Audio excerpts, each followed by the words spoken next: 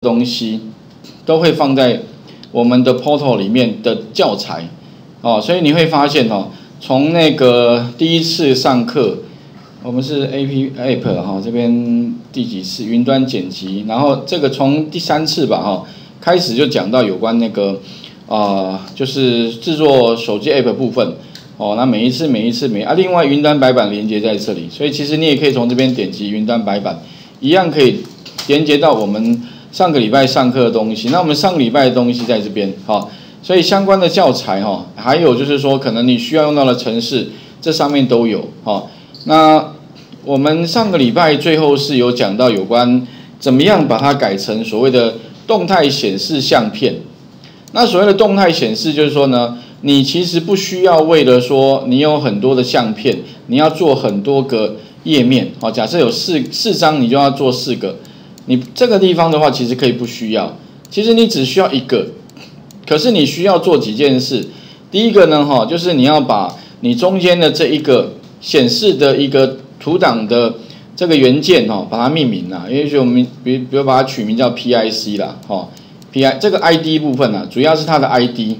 一定要重新取名称。另外的话，有上一页跟下一页也可以做，啊，这个动作。那这个细节部分的话，你们也可以。参考一下那个我们第三次第三次的这个程式说明，啊，其实呢相关的内容都在这里。那我是把它放在比较偏下面的地方，哈，可能在比较下面动态的部分，动态程式部分。那这个地方呢，哈，当然之前本来是利用那个，呃，就是用增加那个啊页面的方式。那现在的话就不是了，我们就是什么这个。这个啊清单的部分把它删除，我们就不是用清单了，因为之前这个清单是一二三四分别连到不同的那个页面，那现在的话改成动态的话哈，这个把它删掉，里面的话呢就增加元件，那增加哪些元件呢？包含就是说呢，你可以先拖拉第一张图，也就是把那个图哈拖拉到这边，那因为它太大，可以把它缩放变小一点点，好，第一个，第二的话呢。ID 部分改一下啊，这个画面这边都有哦，所以可能注意一下。然后呢，再来上面这个 back 跟 nest，本来是 home 啊，把它改成 back 好了啊，里面更改哈一样啊，它里面的那个图啦，还有那个名称，另外就是把它的 ID 变更。back 的话，也许是什么 show 哈 pref 哈，nest 的话呢就是 show nest。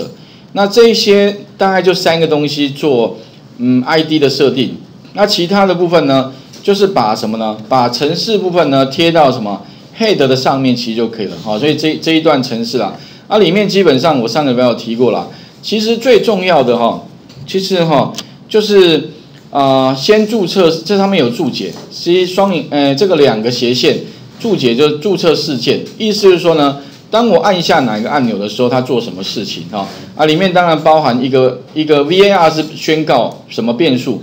变数名称的话呢，index 等于零，预设等于零，也就是说它的它这个后面 array 阵列一定是零开始，零、一、二、三。那当我点选 show preview 啊 pre 啊 preview 的的时候的话，它会去抓什么上上一张？那从零、一、二、三、四在那边变化。那撰写方法部分呢，其实就是它当它点击的时候，会去执行对应的程式，像 show preview 这这个地方就有一个方选。那方选在这边实际上就是方法啊。那做什么呢？减减，把这个 index 指的是索引值。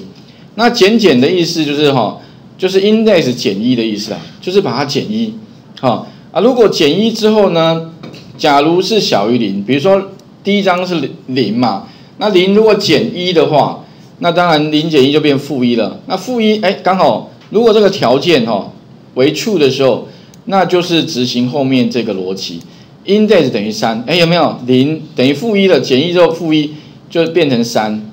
然后再减减一就变二，再减一变一，再减一就变零啊，再来又变负一又回来，所以它会无穷的循环。那加加刚好颠倒，所以底下的程式刚好就加加加加的话就是 index 等于 index 本身加一存回去，OK 哈。那一样啦，如果说它等于三，三之后加了一变四，啊没有四怎么办？就把它改为零，意思就是说哈，哎，再回到这边就下一张的话呢，就零要加一一二三啊，这个是它的编号了，所以实际上透过这个 index 哦，可以去做一些资料的啊那个索引值的变更。那最后当然哈，我们会有一张图哈，是放在 index 这个资料夹，这个是叫资料夹名称，里面呢去抓到这个上面的这个什么了，上面的这个阵列啊，第几个有没有啊？他就把资料抓过来串接之后呢，放在我们 PIC 这个元件里面的那个属性的那个部分，然后它就会自动把图抓过来哈。所以城市里面大概是这样了，当然有些地方哈，如果你暂时呢一下子没办法完全理解哈，至少你可以先把这一段程式哈贴来改就可以了。基本上哦，这一段程式呢就是用来做那个下一页下一页的动作。好，那再来的话呢哈，就是那个什么呢？左右换页啦。因为后来同学有问到说，如果我要向右拨、向左拨。可是问题来了哈，那向右拨向这怎么写啊？其实你只要加这一个是向左，这一个是向右，但是会有个问题，你必须要把那个我们之前的那个所谓的 jQuery Mobile 的那个版本要更新到一点四五。那一点四五哈，我之前讲过，就是你直接把这一段程式其实贴上去就可以了啊。这边，但是哈，如果你在那个我们 Dreamweaver 里面试做的时候哈。没有问题，因为它没有封锁对外连接。但是哈，这边后来把把那个 APK 哈，如果你要转成 APK 的话，如果你要丢到什么，丢到那个 PhoneGap 网站的时候，它会有个问题哦。它如果这个里面有 H 就是对外连接的，它会帮你封锁掉。所以这边就会产生一个问题：如果我里面有一些对外的连接，只要是什么 HTTP 连到哪里的。对外部的东西，它一律如果用透过 PhoneGap 帮我打包下载下来的 APK，一律会失效。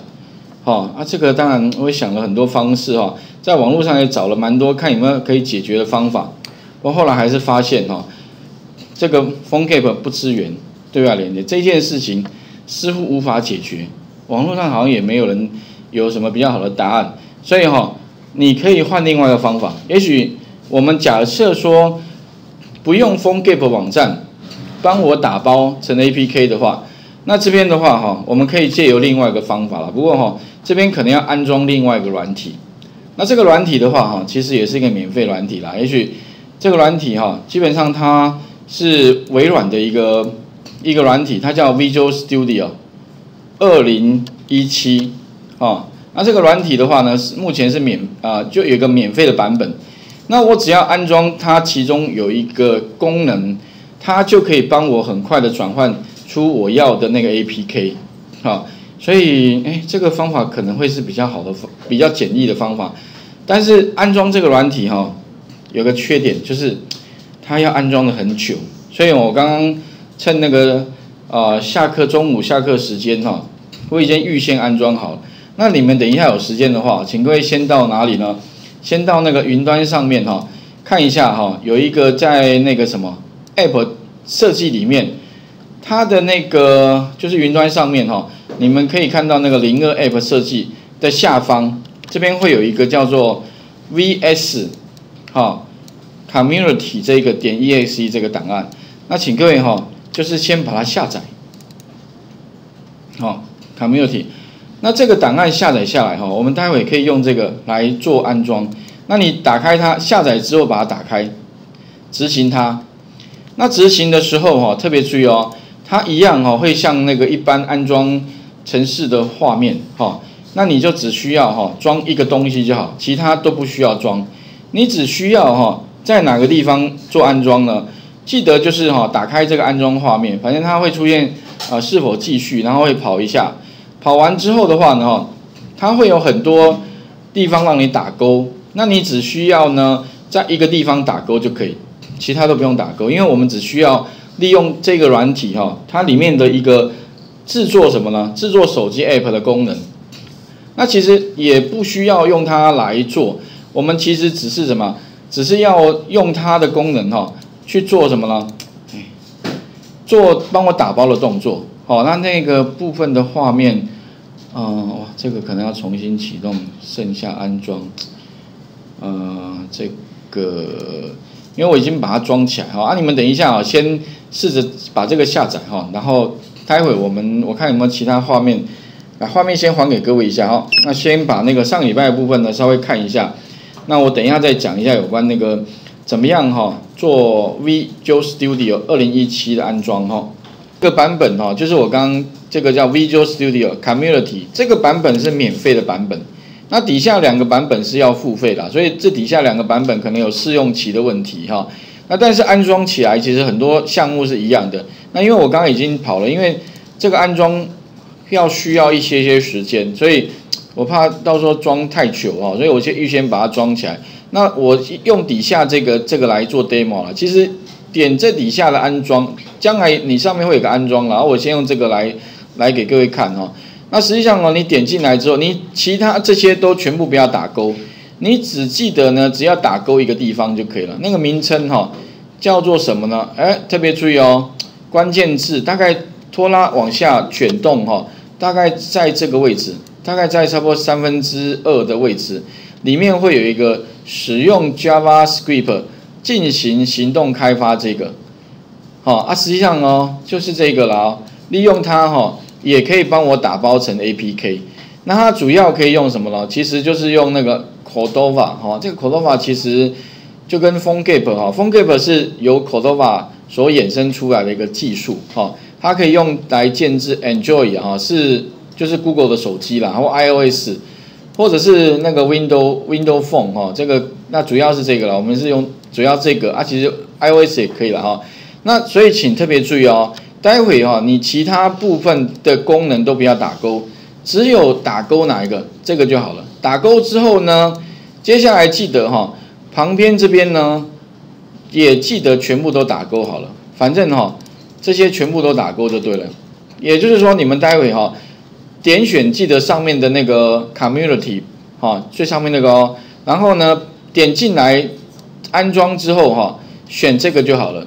那选完这个之后。它可能会缺选用的元件，那我干脆你干脆什么？如果不知道选哪一个啦，干脆把这些全部打勾，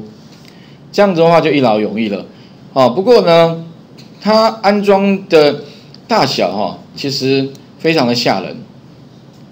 会需要安装二十五 G 卡，所以哈，二十五 G 卡有多大？哦，反正其实相当大就对了哈。然后呢，所以会装的比较久，那你就直接怎么样？按下安装，它就开始跑了。那因为我刚刚已经跑过了，所以它跑完之后，它会出现重新启动的这个画面。那因为我们这边电脑有还原呐，所以如果我重新启动的话，那完蛋了，等于刚刚装的又白装了哈。所以不要重新启动。那我后来发现哦，不用重新启动能不能跑呢？基本上也可以跑，有没有？这边有一个什么呢？Visual Studio，它如果装完毕之后呢，会在我们的程式集里面可以看到有一个什么 Visual Studio 二零一七。那待会的话哈，其实只要利用它，就也可以不需要丢到 PhoneGap 网站，就可以帮我们把那个我们之前写的那个网站哈，帮我转换成 APK。好，这个部分的话哈，可可能要先请各位先试着把它安装起来。好，反正记得哦哈，刚刚的重点，第一个哈，先打开那个 V VS Community 哈，第二个的话呢，记得就是把它执行起来。执行起来之后的话，哈，记得就点选那个，它这边有一个安装了哈。不过我是因为上面这个安装过，我用这个。那记得就是卷动到大概三分之二的位置，这边卷动到三分之二，把这边的这个哦，哈，使用 JavaScript 进行这边打勾，这边也全部打勾，按下安装就可以了。好，安装好，那画面先还给各位试一下哈。那可能会跑比较久啊，因为，那如果说大家一起安装，我怕会装的更久哈。我先试试看好了哈，因为如果有这个 Visual Studio 来帮我转换的话，很多事情会变得比较简单哈。那它的好处是说，那我们就可以不需要使用那个 PhoneGap，也可以帮我转换成 APK，而且之前那个意见回复啊，本来看不到的，现在也看得到了。而且以后如果你要把什么 YouTube 啦，把 Google Map 啦，把所有网络上的服务呢，通通加到你的 App 里面呢，也变得非常简单，哦，所以以后哦，网站变成 App，再配合 Visual Studio，甚至未来如果你要把你的手机 App 上架的话，其实也都可以利用这个 Visual Studio，它可以帮你转换之后丢上去哈。所以这个 V Visual Studio 其实还蛮啊，这个蛮好的一个软体啊。啊，记得是装那个 Community 哦，你不要装其他，因为你装 Enterprise 跟下面的 Pro 呃 Professional 哈，Enterprise 是企业版，Professional 是专业版，这两个好像会有